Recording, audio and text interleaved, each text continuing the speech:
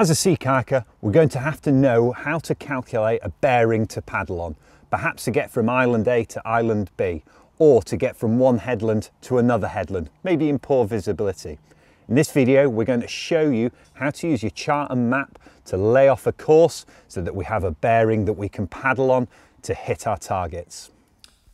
So laying off a course, working out a bearing to paddle on, we're going to need to be familiar with a, a range of different uh, tools that we're going to use to uh, do this.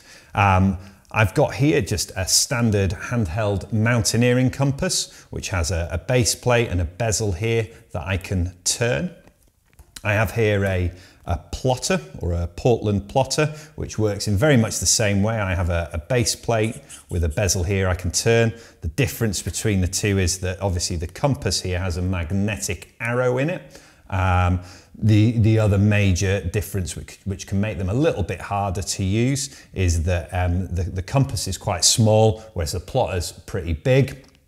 Small, really good for using on my deck, makes it nice and portable, but it only gives me a very short edge to work with. Uh, the plotter here um, is big, so you know I'm never going to take this out on the water with me to use on the deck of my boat, but this nice long big straight edge here makes laying off courses on charts and maps way, way easier.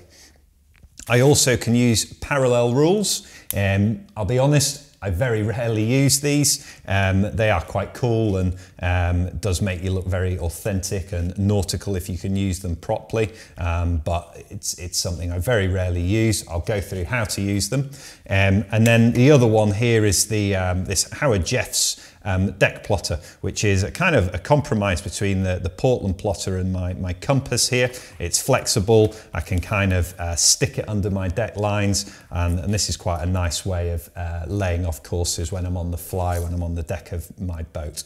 It also works quite well for measuring distances and this kind of stuff. So um, we have a, a deck top plotter here, a Portland plotter, a pair of parallel rules, and then also a mountaineering style compass.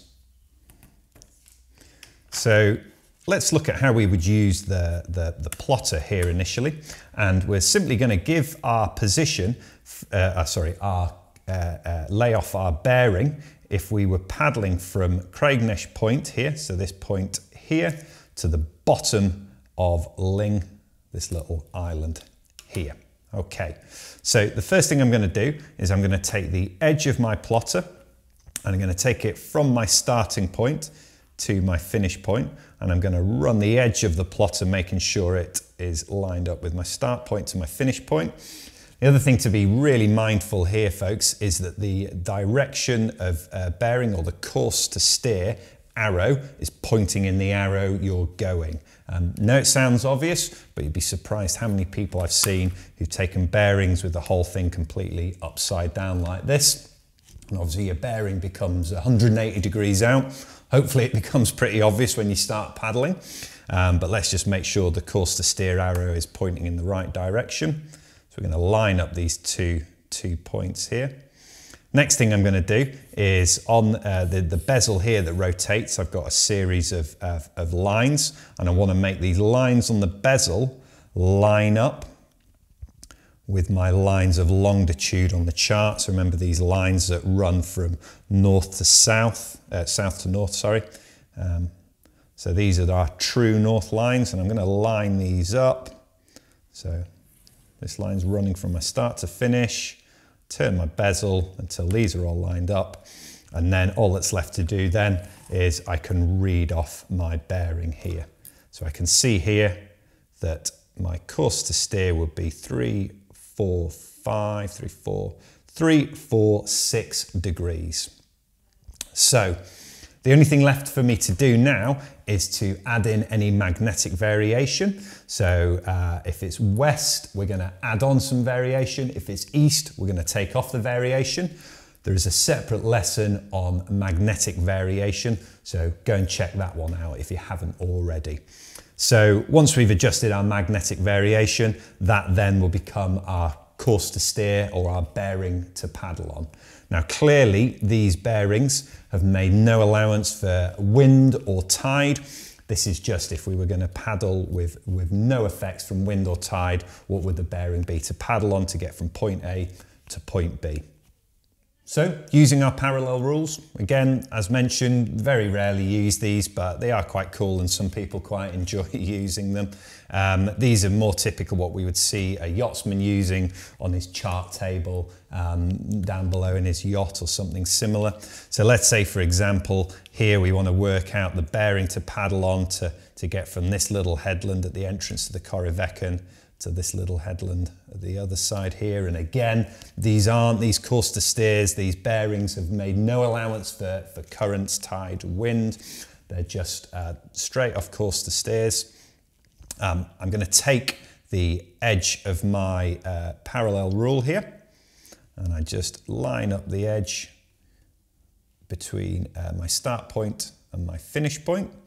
And what I can do now with these parallel rules is I can walk them across to the compass rose on my chart. So what I do is I keep pressure on this side, I'm going to move it over, put the pressure on this side now, walk it over, and I can keep walking them over until I get to the center of my compass rose. So I need to make sure this edge now is at the center, and then I can read off my bearing here which is 306. So 36 degrees would be my bearing here.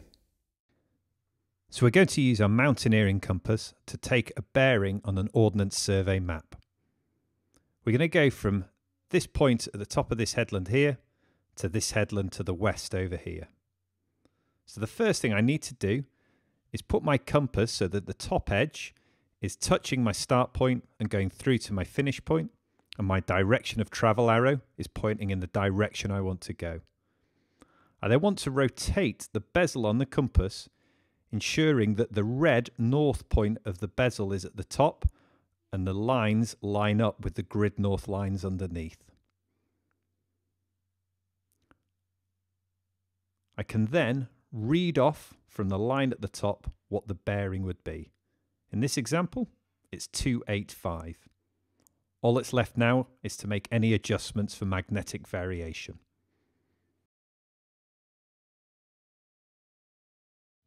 Spend a little time getting comfortable using both a plotter and a handheld mountaineering type compass.